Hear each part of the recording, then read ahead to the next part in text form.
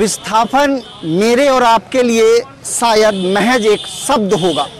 लेकिन विस्थापन से जो लोग इसका दंश झेल रहे हैं, जो लोग इसका दंश झेलते हैं, शायद वो लोग इस शब्द के दर्द को समझ सकते हो। शायद वो लोग विस्थापन की जो समस्या, विस्थापन का जो दर्द है, उसको वो समझ सकते हैं। मेरे पीछे एक तस्वीर आपको मैं दिखा रहा हूँ। दरअसल ये पतरातू की तस्वीर है। ये तस्वीर उन लोगों की है जो पाँच दशक से विस्थापन से परेशान हैं। दरअसल सरकार के सामने और कंपनी के सामने लगातार ये आग्रह कर रहे हैं, निवेदन कर रहे हैं, विनम्र निवेदन कर रहे हैं और आज ये मजबूर है धरना प्रदर्शन करने को लेकर के। मैं पूरी कहानी आपको बताता हूँ, जो लोग यहाँ पर मौजूद है, उनसे भी बात करूँगा, लेकिन संक्षेप में आपको एक बात बता दूँ कि दरअसल ये मामला है क्या? दरअसल पीबीयूएनएल एक कंपनी है जो विद्युत पतरातू विद्युत उत्पादन निगम लिमिटेड एक कंपनी है, जो जब ये कंपनी बनाई गई थी तो आसपास के जो तकरीबन 25 गाँव हैं जिनका ज़मीन अधिग्रहण किया गया था। तकरीबन साढ़े छः हज़ार एकड़ ज़मीन इस पूरे प्लांट में लगा, चाहे वो डैम से लेकर के जो पूरा प्लांट बना है, उसमें इस ज़मीन को यूज़ किया गया है। लेकिन आज तक जिन लोगों का ज़मीन लिया गया, उनको ना तो नौकरी दी गई और ना ही ढंग से उनको मुआवजा दिया गया। आज भी कई ऐसे ज़मीन हैं, जिन जमीनों को अधिग्रहण करने की आवश्यकता है, लेकिन अभी तक उसे अधिग्रहण नहीं किया गया। वहीं दूसरी सबसे बड़ी बात कि कंपनी इन्हें विस्थापित मानती ही नहीं है। एक तरफ़ सरकार कहती है कि आप विस्थापित हैं, लेकिन जो कंपनी है, जिनमें इनका ज़मीन गया है वो कहती है कि आप विस्थापित नहीं हैं। तो ये बड़ी विडंबना है। सरकार आई, सरकार चली गई जनप्रतिनिधि बने, बदले, सब चीज़ चलता रहा। लेकिन पाँच दशक से आज तक ये लोग वहीं खड़े हैं, जहाँ पर आज से पचास साल पहले इनके दादा, परदादा और पिता खड़े थे। मैं उन लोगों से बात करता हूँ कि समस्या क्या है और किन परेशानियों से पिछले पाँच दशक से वो जूझ रहे हैं। मेरे साथ ये जो विस्थापित प्रभावित संघर्ष मोर्चा के अध्यक्ष हैं, उनसे पहले बात करने की कोशिश करेंगे, क्योंकि उनके तत्वधान में ही ये जो अनिश्चितकालीन प्रदर्शन आयोजित की गई है। निश्चित तौर पर विपरीत परिस्थिति है। कोरोना कोरोना के इस विपरीत परिस्थिति में भी आप लोग धरना प्रदर्शन करने को मजबूर हैं। क्या वजह है? क्यों कोरोना काल में भी आप लोग प्रदर्शन कर रहे हैं? इसका सबसे बड़ा वजह है कि कोरोना काल में पीवीएनएल फैक्ट्री का काम चल रहा है। और उसका बहाना है कि कोरोना है, हमारा काम स्लो चल रहा है, इसलिए आप लोगों को हम नहीं रख सकते हैं। लेकिन लगातार बाहर से लाकर यहाँ लोगों को काम पर भर्ती किया जा रहा है। अब ऐसे में सवाल उठता है कि कोरोना केवल हम लोगों के लिए है कि सभी लोगों के लिए है? अगर कोरोना है तो यहाँ काम लॉकडाउन में जिस तरह बंद था, अभी भी बंद होना चाहिए। तो हम लोग का संघर्ष नहीं होगा। लेकिन मेन जो कारण है, बहुत बड़ा कारण, हम लोग अपने अस्तित्व की लड़ाई लड़ रहे हैं। साढ़े छः हज़ार एकड़ ज़मीन में पीटीपीएस से फैक्ट्री प्रोजेक्ट का निर्माण हुआ। आज तक बहुत सारे लोगों को मुआवजा तक नहीं मिला। किसी को नौकरी नहीं मिली। पुनर्वास जिसका ज़मीन घर गया, आज वो बेचारा पलायन कर गया, उसका कोई ठौर ठिकाना नहीं। ऐसे में पीटीपीएस प्लांट जो बना, तब से हम लोग, हमारे पूर्वज और हम लोग संघर्षरत हैं, इसी बीच पिभेनल आई और सीधा उसका कहना है कि हमारा प्लांट जो बन रहा है, वो ज़मीन झारखंड सरकार ने दिया। आप लोग हमारा विस्थापित नहीं है। ऐसे में हम लोग के सामने एक बहुत बड़ा सवाल खड़ा है कि हमारी ज़मीन पर जो प्रोजेक्ट बनी और जो बन रही है, उसका हम विस्थापित नहीं है। तो फिर हम किसका विस्थापित हैं? किसका प्रभावित हैं? सर, सरकार से कोई वार्ता की प्रयास चल रही है सरकार की तरफ़ से? कुछ सफल वार्ता प्रशासन की तरफ़ से कंपनी की तरफ़ से? सरकार से 7 फरवरी 2016 को यहाँ के तत्कालीन उपायुक्त श्री ए दोडे ने वार्ता किया था।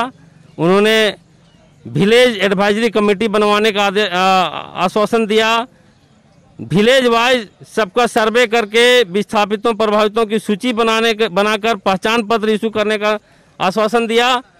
और यह भी आश्वासन दिया कि एनटीपीसी के चेयरमैन के साथ मार्च 2016 में सारा डॉक्यूमेंट कंप्लीट करके हम लोग वार्ता करेंगे और आप लोग का नौकरी मुआवजा पुनर्वास के मुद्दे को हल किया जाएगा।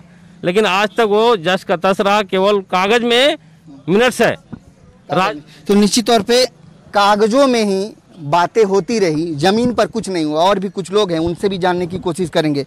क्यों प्रदर्शन कर रहे हैं आप लोग? क्या मांग है आखिर? प्रदर्शन हम लोग को नौकरी चाहिए ज- जो पीवीएन प्लांट खुला है उसमें नौकरी चाहिए। और जो कितना ज़मीन गया था आपका? पाँच एकड़ लगभग ज़मीन हम लोग को गया। छः सौ एकड़ तो पूरा पूरा सब कह लोगे अपना अपना एक अति है जो कुछ डैम में गया कुछ फैक्ट्री में गया कुछ रेलवे मुआवजा मिला था इसका? नहीं कुछ नहीं मिला। मुआवजा भी नहीं मिला। साहब क्यों यहाँ पर आए हैं? हम लोग नौकरी के लिए आए हैं हम लोग कितने सालों से नौकरी मांग रहे हैं। हम लोग चालीस साल से मांग रहे हैं। चालीस साल से। सुना आपने चालीस साल, पचास साल, साठ सालों से, लगभग 1960 के आसपास प्लांट का निर्माण हुआ था। देखिए, आप अगर इस तस्वीर को आप देखें और इन चेहरों को देखें, पूरे देश में जिस तरीके से कोरोना का संक्रमण फैला हुआ है, ऐसे में कितनी मजबूरियाँ होंगी जिसको लेकर के आज ये लोग यहाँ पर मौजूद हुए हैं अनिश्चितकालीन धरने के लिए। आखिर क्यों? सरकार कर क्या रही है? सवाल ये है कि इसके जब झारखंड का निर्माण हुआ था, उस समय जो मुख्य मुद्दा कह सकते हैं कि विस्थापन एक कहीं ना कहीं मुख्य मुद्दा था। इसको लेकर के सरकार कही थी कि विस्थापन को लेकर के हम नीति बनाएँगे, लेकिन 20 साल हो गए। कहाँ है वो नीति?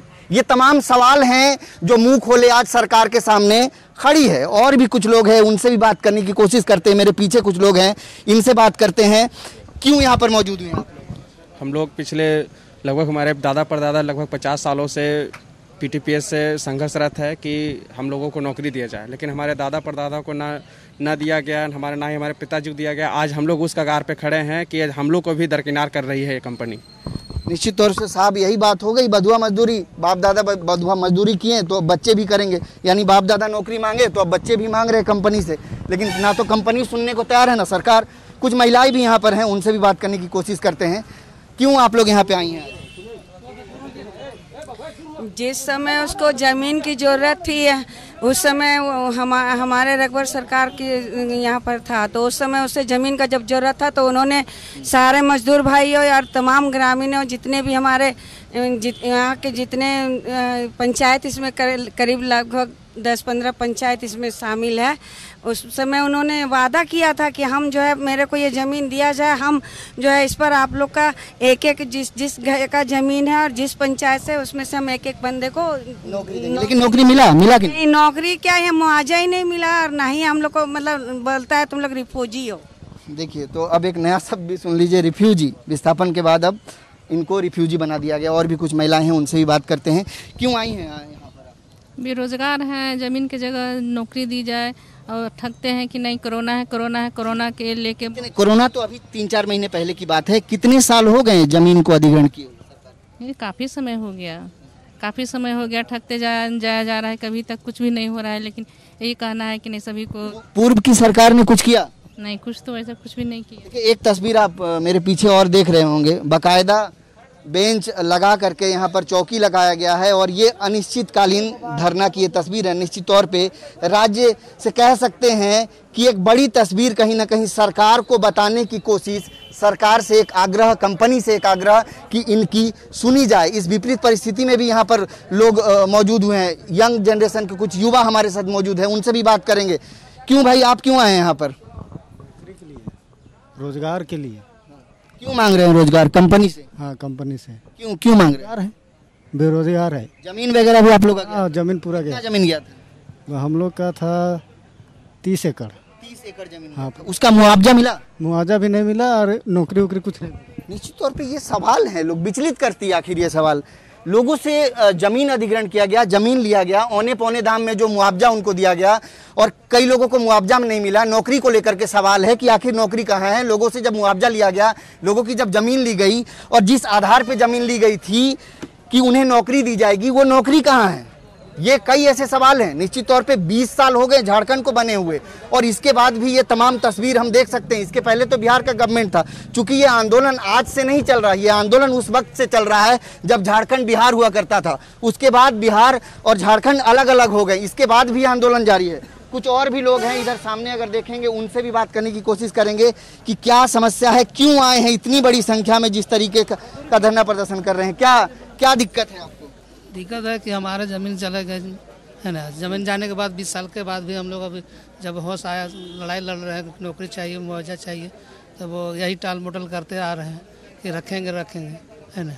लगातार टाल मोटल क्यों आए हैं यहाँ पर शुरू अनिश्चित धरना नौकरी नौकरी मांग रहे सरकार से।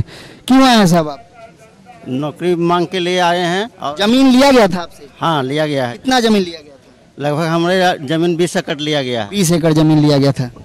देखिए, यानी कुल मिलाकर मैं पहले भी बताया आपको, तकरीबन साढ़े छः हज़ार एकड़ का ये पूरा प्लांट और ये डैम और जो ये पूरा पतरातू बिजली उत्पादन जो निगम लिमिटेड जो है, इसके लिए लिया गया था इस प्लांट के लिए। निश्चित तौर पे एक बार फाइनल फिर चलते हैं जो विस्थापित प्रभावित संघर्ष मोर्चा के जो अध्यक्ष हैं, आदित्य जी, उनसे बात करते हैं एक बार कि उनका अब अगर सरकार नहीं सुनती है तो आगे क्या कुछ करेंगे? क्या ये अनिश्चितकालीन धरना जारी रहेगा या फिर प्रशासन के तरफ़ से कोई पहल की गई है क्या अभी तक? अभी तक कल जो यहाँ एस साहब हैं और अंचलाधिकारी और यहाँ के थाना के इंचार्ज इंस्पेक्टर साहब, उनके पहल पर पीएनएल के दो अधिकारी आए थे और यहाँ पर सबके सामने उन्होंने कमिटमेंट करके गया कि रिटर्न लेटर विस्थापित प्रभावित संघर्ष मोर्चा के नाम पर वार्ता के लिए भेजा जाएगा। लेकिन अभी तक उन्होंने कोई लेटर हम लोग को नहीं भेजा। एक लेटर का व्हाट्सएप उन्होंने किया है, जो लेटर अंचलाधिकारी को उन्होंने लिखा है। मैंने मोर्चा को लेटर नहीं लिखा। को लेटर नहीं लिखा अच्छा कौन पार्टियाँ कोई आप लोगों को समर्थन कर रही हैं वर्तमान में? यहाँ के जितनी पार्टियाँ हैं सभी लोग समर्थन में हैं। और खासकर ये मोर्चा मोर्चा में जितने लोग हैं सभी पार्टी से बिलोंग करते हैं। अर्थात यह मोर्चा सर्वदलीय है या फिर बिना किसी के दल, किसी दल का है। इसलिए हम लोग को किसी दल से कोई लड़ाई नहीं है। सारे लोग यहाँ पर हैं और सब लोग मिलकर हम लोग अपने हक अधिकार का लड़ाई लड़ रहे हैं। निश्चित तौर पे तो ये हक की लड़ाई है, अधिकार की लड़ाई है, जो कंपनी से है, सरकार से है, उन लोगों से है, जो इस कंपनी के उत्तराधिकारी हैं, उन लोगों से है, जो इस कंपनी के मालिक हैं, जो सरकार है, जिन लोगों ने ज़मीन का अधिग्रहण किया, मुआवजा औने पौने दाम में दिया, कहीं मुआवजा मिला नहीं, किसी को नौकरी मिली तो किसी को नौकरी मिला नहीं, ये तमाम सवाल है, इन्हीं सवालों को लिए आज ये लोग यहाँ पर मजबूर हैं अनिश्चितकालीन धरना करने के लिए।